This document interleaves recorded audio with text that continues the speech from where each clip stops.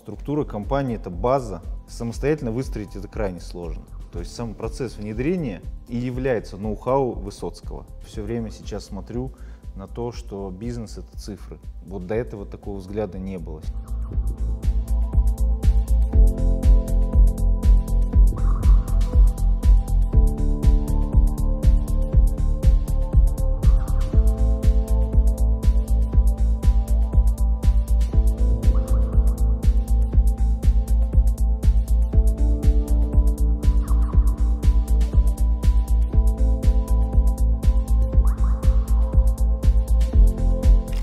Добрый день, друзья! Вы снова на канале Бизнес Бустер. Сегодня у нас снова очень сильный кейс. А, сегодня у нас такая реально крупная компания, которая является лидером в своей отрасли. И я вас сегодня знакомлю с Павлом Калашниковым, владельцем компании Snapway. Привет, Павел. Привет. Я думаю, что будет очень интересно. Я спрошу у Павла о том, что они делают, какая компания, чем занимаются, их историю, как они росли, и вы сможете это все получить из первых рук от владельца. Павел, расскажи подробнее, чем занимается компания Snapway, какой у вас масштаб? Компания занимается торговлей отделочными материалами по э, торговым точкам, по строительным организациям. Вот, занимаемся мы этим с 2009 года. Э, сейчас на данный момент мы входим в тройку в московском регионе и в ЦФО. Располагаем тремя э, складскими терминалами общей площадью 15 тысяч квадратных метров, собственным автопарком, э, более тысячи клиентов у нас, достаточно масштабный бизнес. А сколько в месяц отгружаете материал? Порядка 10 тысяч тонн. Я даже себе представить не могу такой объем. Да. Это круто. А как вообще появилась идея создавать такой бизнес? Как вот к этому пришли? 2009 год, это уже получается почти 10 лет, да? 9 Да, это, это был разгар кризиса, как раз в 8-9 год. Мгм. Ну, в тот момент я пришел к мысли, что э, пора заниматься собственным делом. Э, была возможность э, работать с одним из региональных производителей э, гипсокартона на тот момент. Единственный мой был поставщик, и вот с этого мы начинали, развивали этот бренд на московском рынке. Мгм. Вот. И дальше уже постепенно наращивали портфель, видели спрос, видели, как э, реагирует потребитель, видели, что в принципе очень слабый сервис на этом рынке. Мгм, мгм. Вот. И расширяли ассортимент, расширяли портфель, набирали команду. В общем, прошли такой сложный путь про- просто с нуля. Насколько быстро росли, насколько все это было динамично вообще? Так, Ну, вначале росли, конечно, быстро, то есть с нуля расти всегда легко. А в дальнейшем, то есть где-то к 2014 году, вот как раз когда кризис второй произошел, там уже стало сложнее, когда спрос уже стал другим. Вот, Мгм. И там уже р- рост был не, не, не в два раза каждый год, как это до этого Мгм. было. Вот, там за- замедление произошло. И вот э, тогда начались мысли, что нужно как-то повышать свои компетенции, что-то менять в своей жизни. Ну, не в своей жизни, а в своих э, способностях, что ли, как руководитель. Мгм. Вот. Я перепробовал много тренингов, много... И какие там, если на скидку, что понравилось, если так вспомнишь? Ну, это известные тренинговые компании, не знаю, «Бизнес-молодость», э, это Что проходил? Цех, МЗС? МЗС проходил. Мгм. Вот. э, Другие небольшие тренинги Глеба Архангельского там Мгм. по продажам, Бакшт был Мгм. такой тренер по продажам. И сейчас, наверное, есть. Мгм. Вот. Его отдел продаж мы внедряли. Мгм. В общем, я много был на разных программах. На мини-MBA был в PricewaterhouseCoopers. Мгм. Мгм. Вот. э, У меня вообще два высших образования, я там менеджмент закончил. То есть, в принципе, я так имел понятие до проекта Высоцкого, э, что такое менеджмент, что такое бизнес. В конце 2015 года я пришел к тому, что, видимо, Высоцкого, проект Высоцкого больше подходит, потому что я как раз тогда закончил мини-MBA в в Pricewaterhouse. Мгм. И меня он, честно говоря, разочаровал. Вот. Э, не хочу антирекламу никому делать, Ну, по но чесноку. в принципе MBA, да, то есть там была очень сильная программа в плане преподавательского состава, но то, как она выстроена, то, как вообще построена MBA, это мало применимо к э, малому бизнесу. Вот. То есть на определенном уровне, э, когда бизнес там уже действительно там масштабный, миллиардный, я не знаю, я думаю, что от 10 миллиардов годового оборота, там MBA очень применим именно топ-менеджменту. Вот там нужно э, уже смотреть на компанию как на корпорацию, как на подразделение. Вот именно подход э, MBA. А здесь, когда у тебя бизнес, у меня был тогда там бизнес, не знаю, 20 человек, достаточно сложно было применить кейсы из Кока-Колы а, и так далее. То есть из, э, даже из нашей отрасли есть американская сеть Home Depot, э, и нам рассказывали, как они строят свои фин-модели, ну и что дальше, То есть, как они выходят на IPO. А у тебя 20 сотрудников. А у меня 20 сотрудников, да, я весь в звонках, то есть э, клиенты звонят, ругаются, отгрузки, машины, ну то есть достаточно сложно. Там ребята учились, э, которые сейчас очень известные личности, вот э, один из топ-менеджеров Леруа Мерлен, сейчас вот мы общаемся, со мной там учился. Да, вот они, те, кто развиваются по корпоративной стезе, там это применимо. Поэтому я выбрал проект Высоцкого, потому что он был применим к малому бизнесу. Я смотрел его материалы, я был у него на небольших тренингах однодневных. Мгм. Вот, и На живых прям? на живых, да, Мгм. был. То есть по- повезло еще, когда Высоцкий был здесь. Да, он приезжал, да, и вот книги потрясающие, то есть Мгм. с них надо начинать Мгм. вообще. То есть не думать о каком-то там большом проекте, а нужно сначала посмотреть маленькие вещи Высоцкого, чтобы понять вообще его подход. Ну, хотя бы попробовать, конечно. Да, да, да. Мы тоже в прошлом году, когда вот до админа дошли с партнерами, мы начали там просто фанатеть от книг Высоцкого, все это Мгм. читать, там сразу там что-то внедрять, какие-то небольшие тренинги, там, ну, потом уже познакомились с ним в Нью-Йорке и, конечно, Мгм. понеслась. Но книги просто действительно потрясающие. Я всем в команде, мало бизнес, большая игра, просто у меня все топы прочитали в обязательном порядке, ну и все кайфуют. Да. А для владельца, вот обязанности владельца компании, вот такая вот брошюрка, там, не знаю, 100 страниц, но вообще открывает глаза вообще на то, что такое владелец и вообще какова роль владельца. Это, ну, просто вот всем рекомендую, действительно. Два часа чтения и вообще новый взгляд. В общем, 2015 год, да, Мгм. конец 2015 года, ты там, по уши в оперативке, звонки, Да. все на тебе. Вообще. Я был самый эффективный продавец в компании, то есть я продавал э, объем и прибыль делал больше, чем все остальные мои менеджеры вместе взятые. Их тогда было, наверное, 6 или 7 человек. Вот я за семерых лучше работал, то есть я их кормил. Круто. А, Да, ну, Ну, я круто, верил, круто, я конечно, верил да. в них. Круто. Вот, я верил в них. Но я понимал, что тут что-то не так. И после этого, да, вот я выбрал э, программу Высоцкого, пришел, она дорого стоила, то есть э, сотрудники начали мне продавать ее, там, рассказывать. Я говорю, мне не надо продавать, давайте счет, Мгм. я оплачу. Они, как это? Я говорю, ну, я принял решение. М. То есть мне не надо было продавать там программу за там большую сумму. Тогда это было, наверное, там 50 тысяч долларов. Мгм. И все, я пошел, и с тех пор, то есть там многое поменялось и в бизнесе, и у меня в голове. Павел, а вот эм, очень интересно тем, кто собирается проходить программу, э, именно какие инструменты в твоем бизнесе сработали, потому что инструментов управления много, и все приходят с разным уровнем. Вот ты, например, пришел с высоким уровнем вовлечения в продаже, у кого-то, например, ну, нет такой проблемы, они сразу там по продаже отстроили, делегировали, да, а у кого-то уже там финансовая система была налажена. Ну вот интересно, какие именно инструменты у тебя сработали, какие именно тебе помогли, какие проблемы они устранили или там наоборот позволили выйти там на новый уровень. Мгм. Ну, во-первых, э, планирование. Вот планирование на разных уровнях.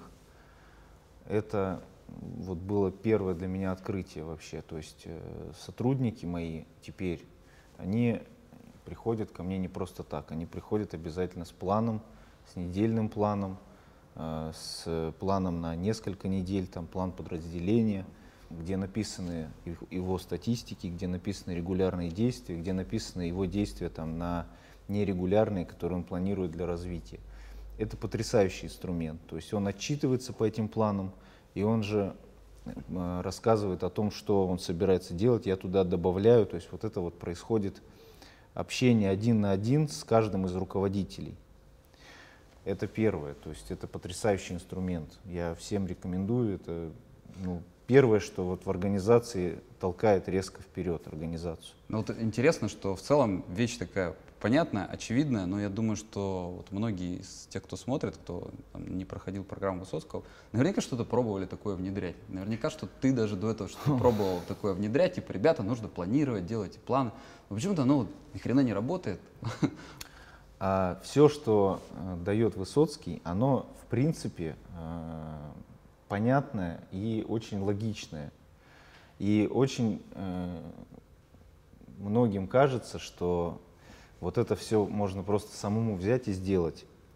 Я не хочу ни, ни, никак э, там ничего продвигать, но дело в том, что то, как это внедрить, и то, и то что э, кажется на, на выходе, оно совершенно друг с другом не, не дружит. То есть сам процесс внедрения, он э, и является ноу-хау Высоцкого.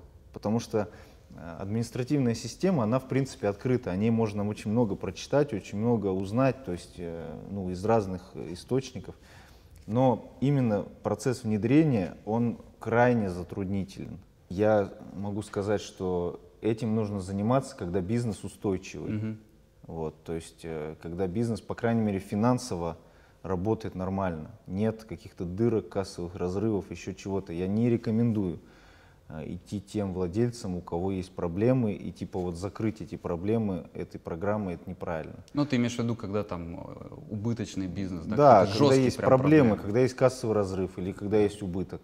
Я пришел к Высоцкому в 2014 году э, первый, на первый тренинг, угу. и он меня не допустил. Угу. Он сказал, ты не готов. Угу.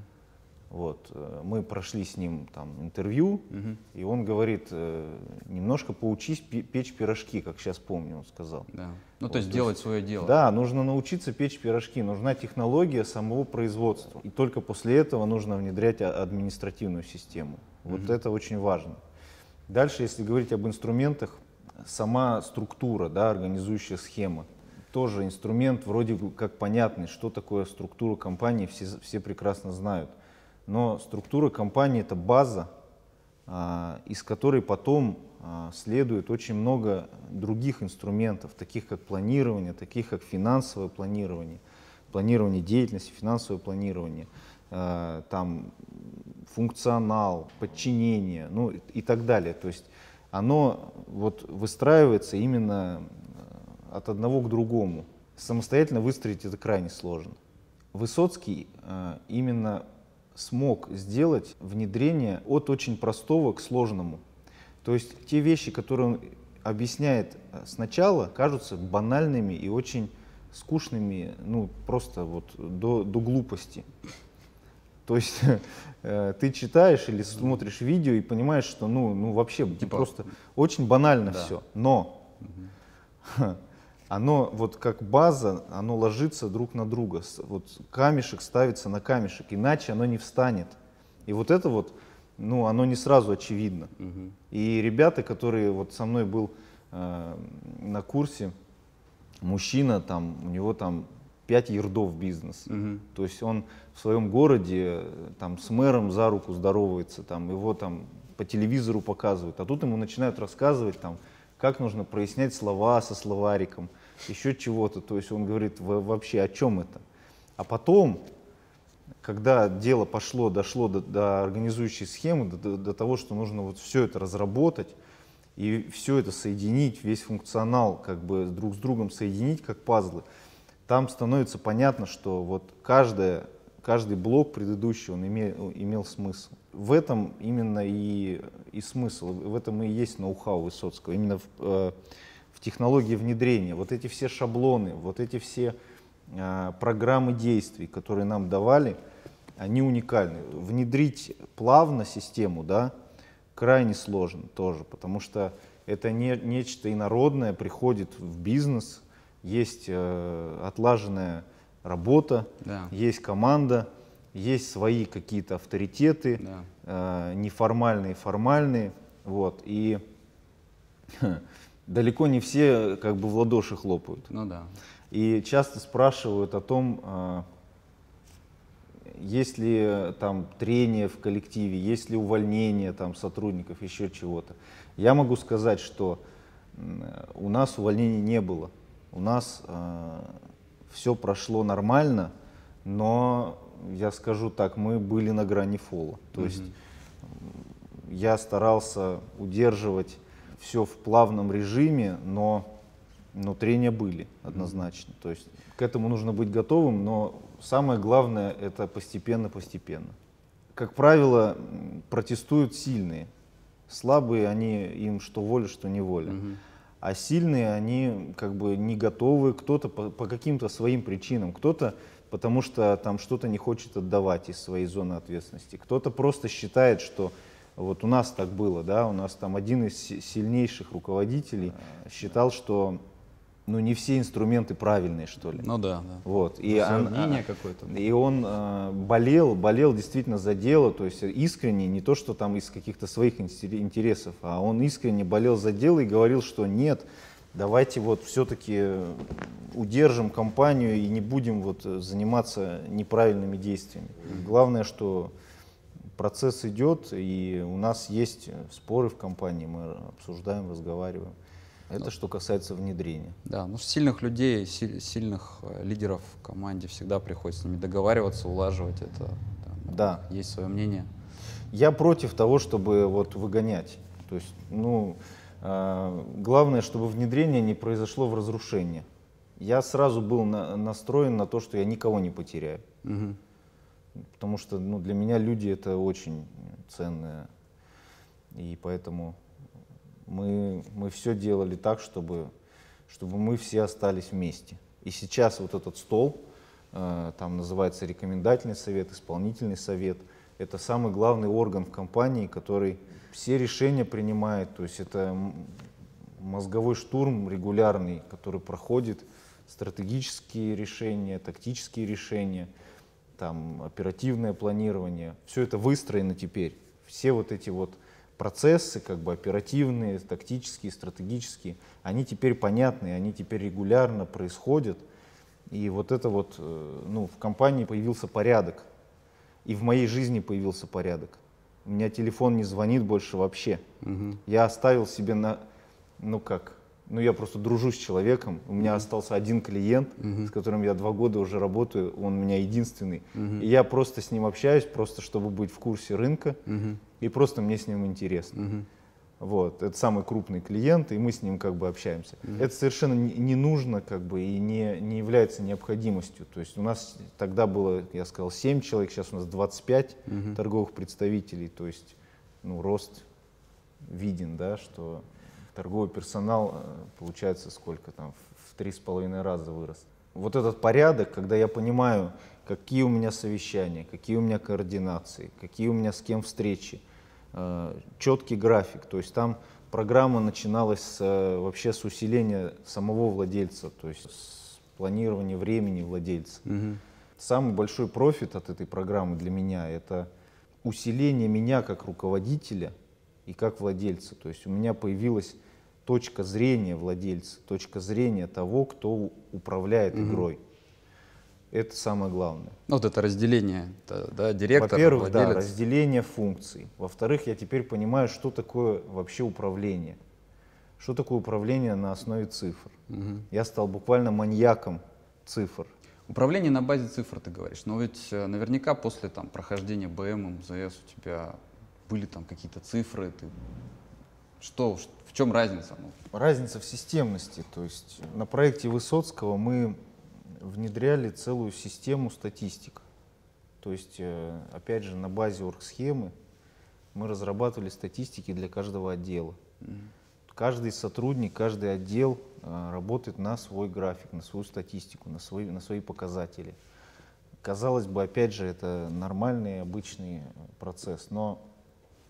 А, как... Называют обычно там KPI, да? Вот KPI, у всех свои да, KPI. Да, э, но как их увязать между собой и как из них сделать вот эту вот трубу производственную и через эту трубу смотреть, э, где узкие места, это как бы никто, я не встречал, чтобы вот э, внедряли именно, именно такую технологию.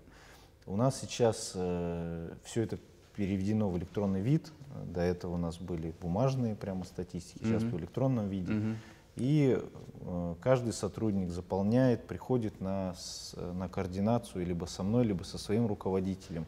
Именно с цифрами, с понятными графиками. У меня сейчас э, под контролем порядка, наверное, 30 э, графиков, 30 показателей, которые я постоянно мониторю.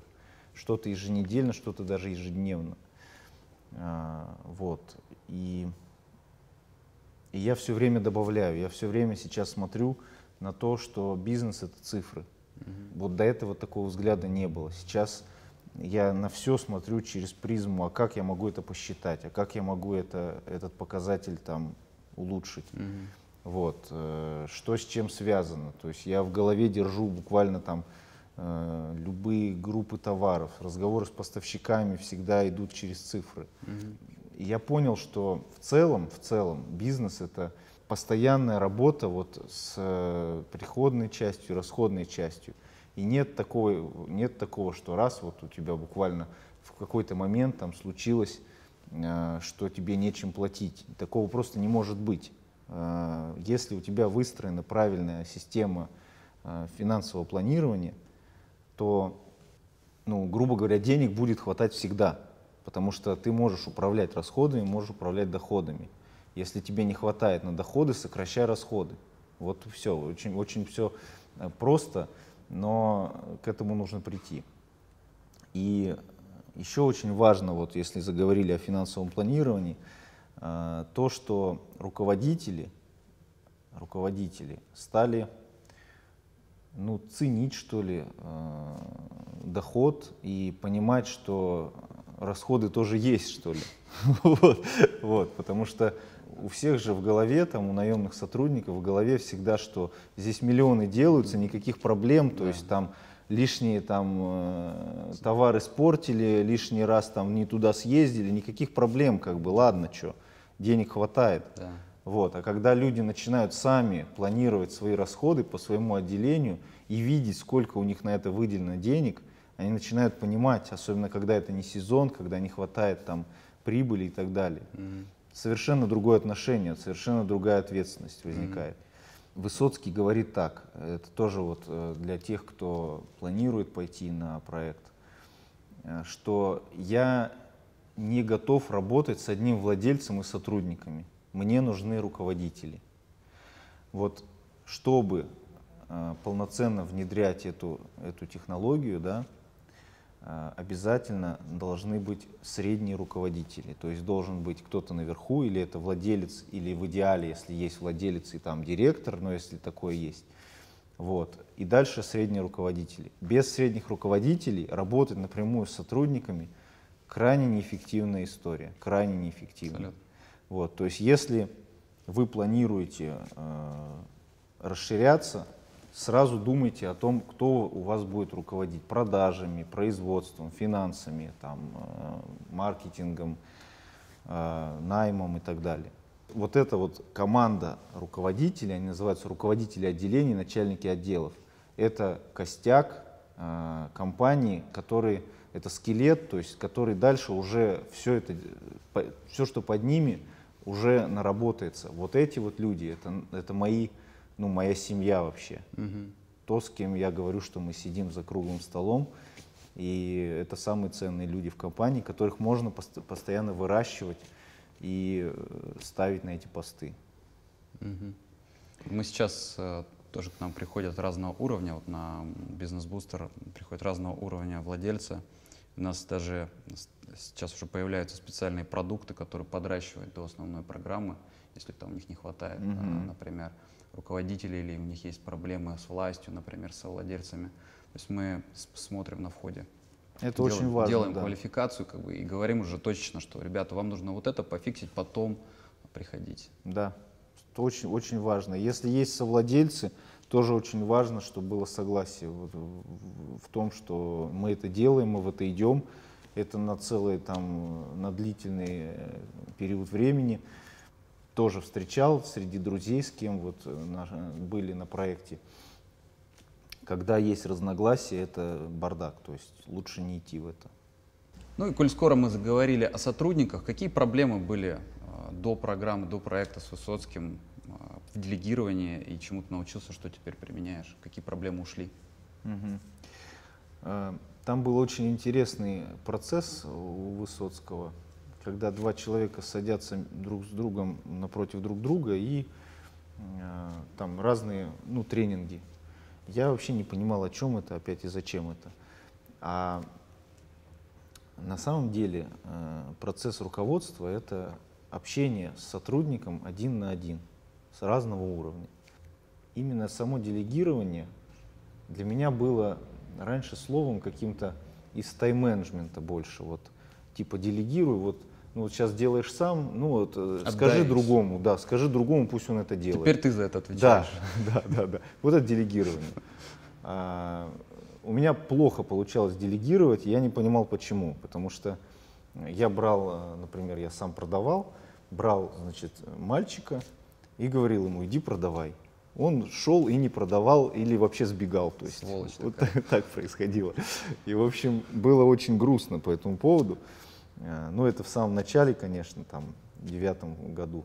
Само делегирование заключается в том, чтобы описать подробнейшим образом по определенному сценарию ту деятельность, которая ведется. То есть нужно прямо выложить на бумагу все подробнейшим образом.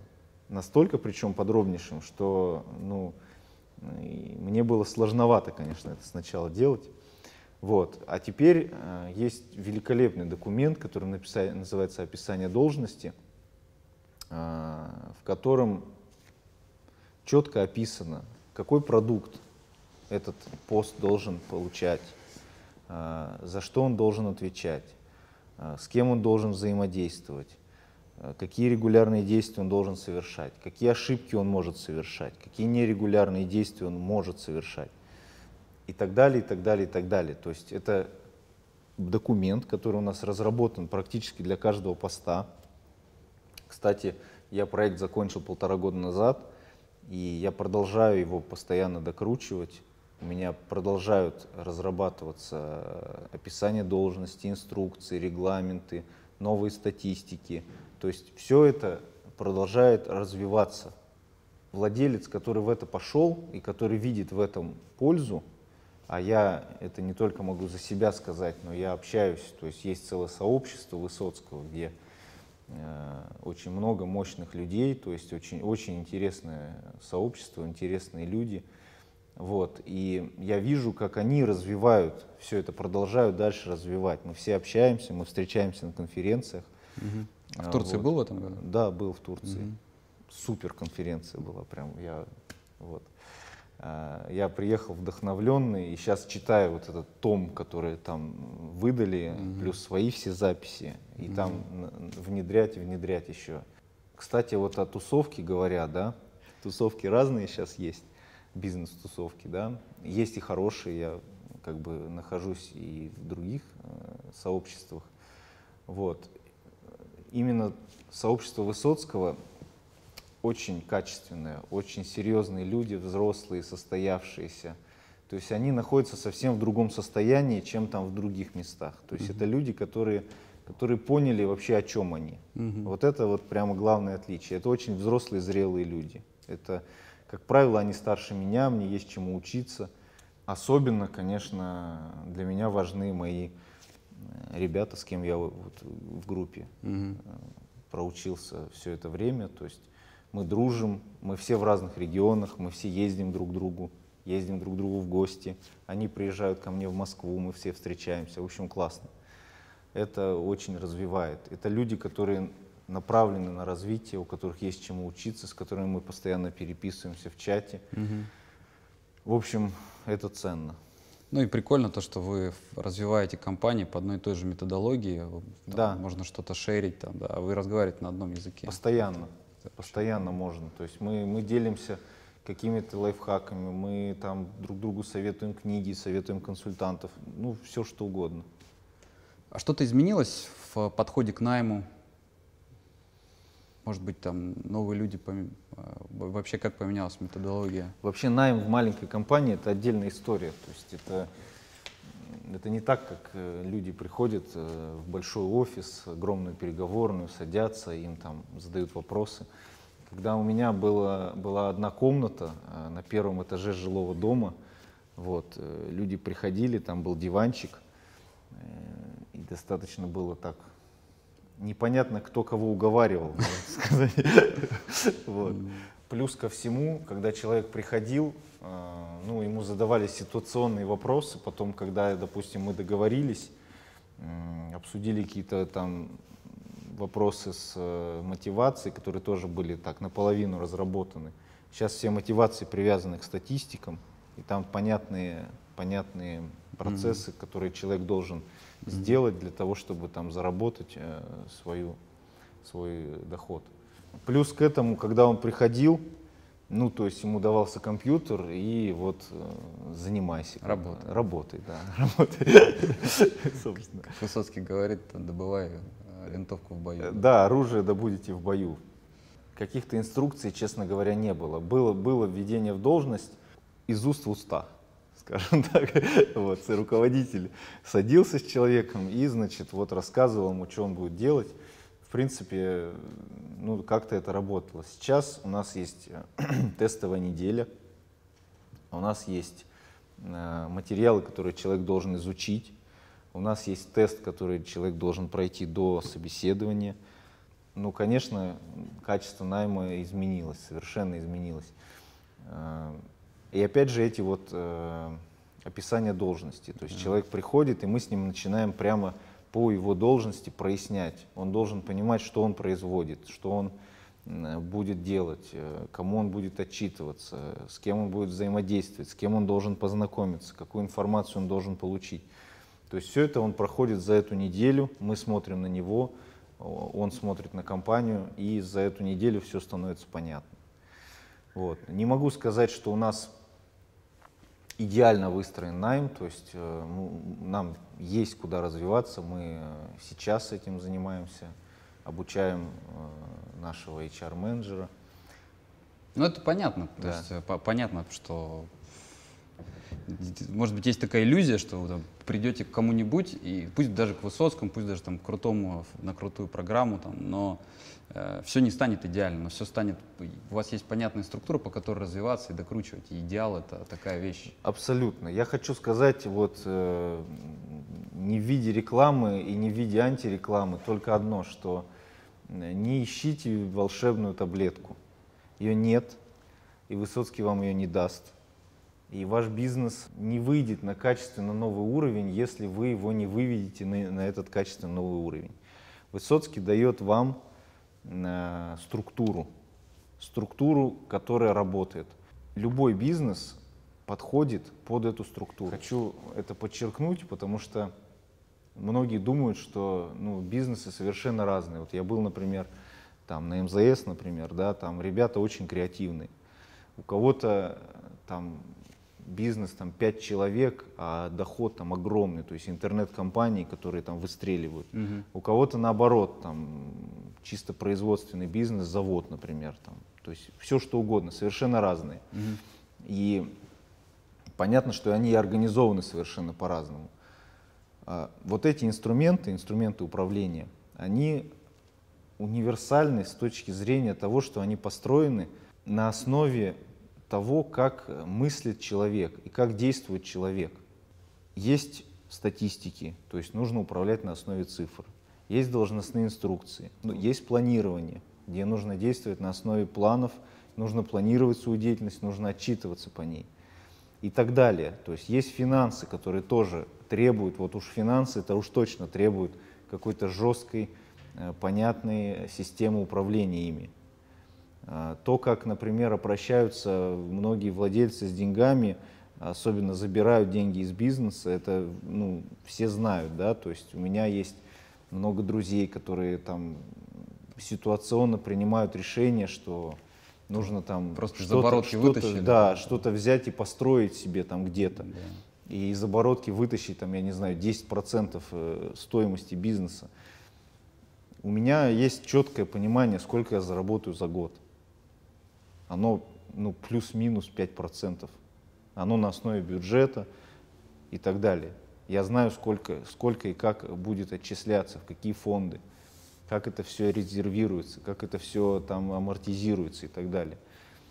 А, поэтому думать о том, что есть уникальные бизнесы, конечно, они все уникальные, но э, вот понимание, как управляется бизнес, оно приходит именно вот на программе Высоцкого, оно, оно точно приходит. Знаешь, у меня такая появилась аналогия, то, что вот мы же все уникальные люди, у нас там уникальные, мы выглядим по-разному, да, у нас мысли разные, там, mm-hmm. судьба уникальна. Но при этом у нас там плюс-минус у всех две ноги, две руки, там кровеносная система. И то есть, если говорить базово, с точки зрения структуры, с точки зрения системы, мы все одинаковые. То есть у нас есть да, базовые, там кровь течет, лимфа течет. И вот, э, вот это админ, административные технологии, то, что дает Высоцкий, по сути, это вот как раз это кровеносная система, это скелет, это скелет, вс- да. все, все базовые подсистемы, которые мы, э, когда создаем бизнес, мы их делаем как-то по наитию, и они запутанные. Они там какие-то у нас левая нога есть, правая нет. Там у кого-то три ноги, у кого-то шесть, ни одной руки там, ну и так далее. И вот это uh-huh. вот, а когда ты приходишь на на программу, приходишь к Высоцкому, то ты просто понимаешь, как оно должно быть, ну просто нормально, э, разумно, и выстраиваешь это более разумно, и оно начинает просто лучше работать. При этом, естественно, ты это наполняешь там, своими смыслами, да. своим замыслом. Есть просто люди, которые меня спрашивают, ну вот я вот удвоюсь или не удвоюсь, когда вот пойду. Я не знаю, удвоится он или нет. Потому что сама, сама по себе система, она не может удвоить, она может она может сделать порядок, если этот порядок э, наполнен правильными смыслами и правильно взаимодействует с рынком, тогда это будет э, рост 100%, потому что больше порядка, меньше хаоса, и, и это дает как бы результат.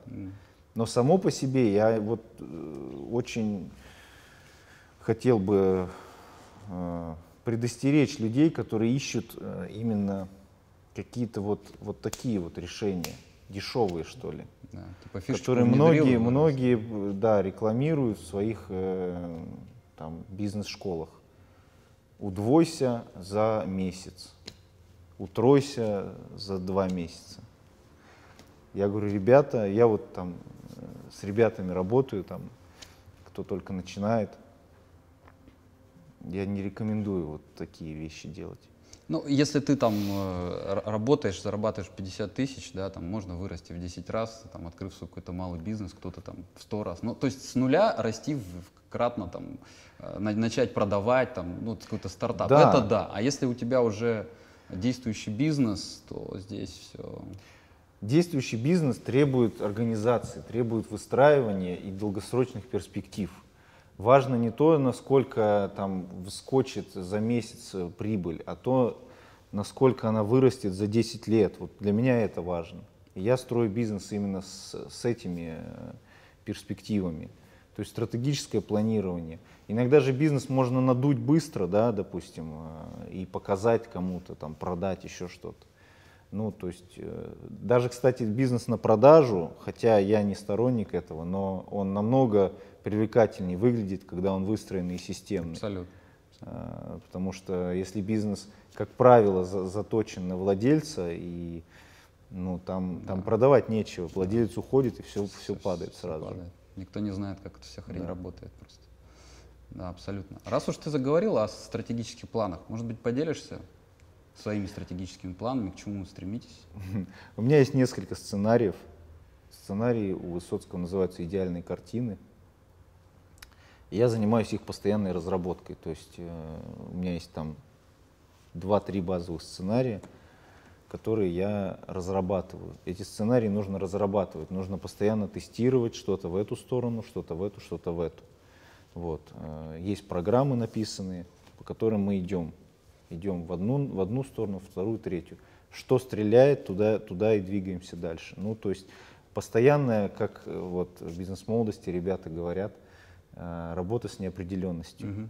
Это главное качество предпринимателя. Э, как кушает неопределенность, как шелкопряд. Угу. Съедает и за собой оставляет порядок. Хаос ешь, порядок за собой оставляешь. В этом смысл предпринимательской деятельности. В этом как бы я вижу и свою миссию. То есть упорядочивать, постоянно упорядочивать. Не сорвать где-то, угу. Там удвоиться за месяц, а упорядочивать, улучшать деятельность сотрудников, собственную угу. и общество. Угу. Может быть, тогда поделишься, какие вот у вас результаты после программы, во сколько раз там увеличились показатели? Если говорить о показателях, э, прошло полтора года, После мы, окончания программы? После окончания, да, именно mm. после окончания. То есть мы росли и в течение внедрения, то есть это не быстрый процесс, то есть mm. мы проходили год, но вот после окончания в кризисное время, то есть сейчас э, на рынке стройматериалов э, не лучшие времена, mm. вот, и мы выросли на 50%. Вот можно сказать, вот, вот этот показатель которого мы достигли. Причем я еще раз э, подчеркну, что рост достигнут не только за счет там, внедрения, за счет Безусловно. общего ну, развития, что ли. И вообще внедрение вот этой системы нельзя э, отрывать от, от всего процесса развития и роста организации. У нас просто организация выросла не только численно, но и как бы по своему уровню. Руководители стали больше на себя брать ответственность. А, сотрудники видят э, больше цифры статистики. Мы у нас постоянно проводятся общие собрания, у нас стало больше сплоченный коллектив, а, у нас транспарентность, мы показываем своим сотрудникам показатели, они видят, они причастны.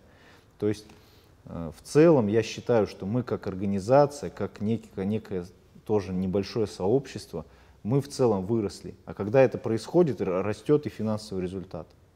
Вот, вот это произошло. И для меня это очень ценно, потому что ну, я не знал, как э, еще по-другому вот сплотить организацию и сделать из нее действительно, действительно организацию, а не просто как бы сбор нескольких человек, которые там каждый свои интересы отстаивают. Mm-hmm.